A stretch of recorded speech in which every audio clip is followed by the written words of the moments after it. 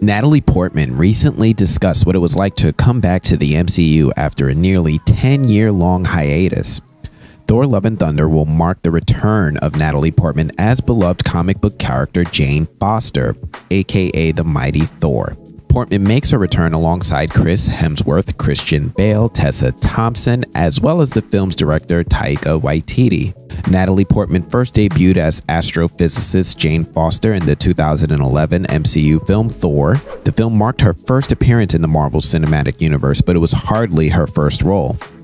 Films like Garden State, the Star Wars prequels, Black Swan, and V for Vendetta make her a bona fide movie star. As Jane Foster, Portman was indeed a star in the Thor franchise, however, she was absent for the film's third installment, Thor Ragnarok. This was due to her being unhappy with Thor The Dark World and the replacement of its director Patty Jenkins.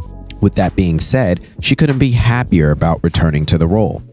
In a recent interview with Vogue, Natalie Portman revealed what it was like to come back to the role of Jane Foster after nearly a 10 year long absence.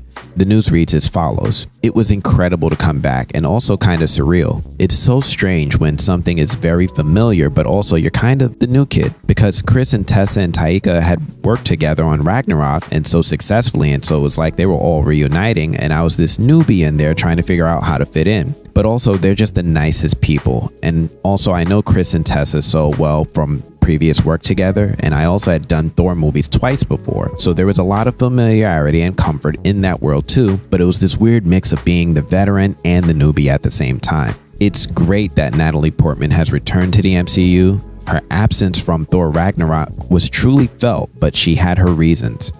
Now that she's back as an honest to goodness superhero, her future in the MCU seems bright. There's no telling where the character could go from here, but it's safe to say this isn't the last time we'll see the mighty Thor on the big screen. If you guys like this news update and you want to see more, do me a big, big, big favor. Please, please, please, please hit that like, hit that subscribe button, turn on your notifications. Otherwise, I'm going to check you guys later. Peace. Check it out, yeah. Scared money, make less of it. Don't ever let the chance pass you by. Just keep your eye up on the prizes. Life keeps spinning, these rules I break them. Life keeps spinning, them risks I take them. Run way to a bag, nigga thought you in the way, but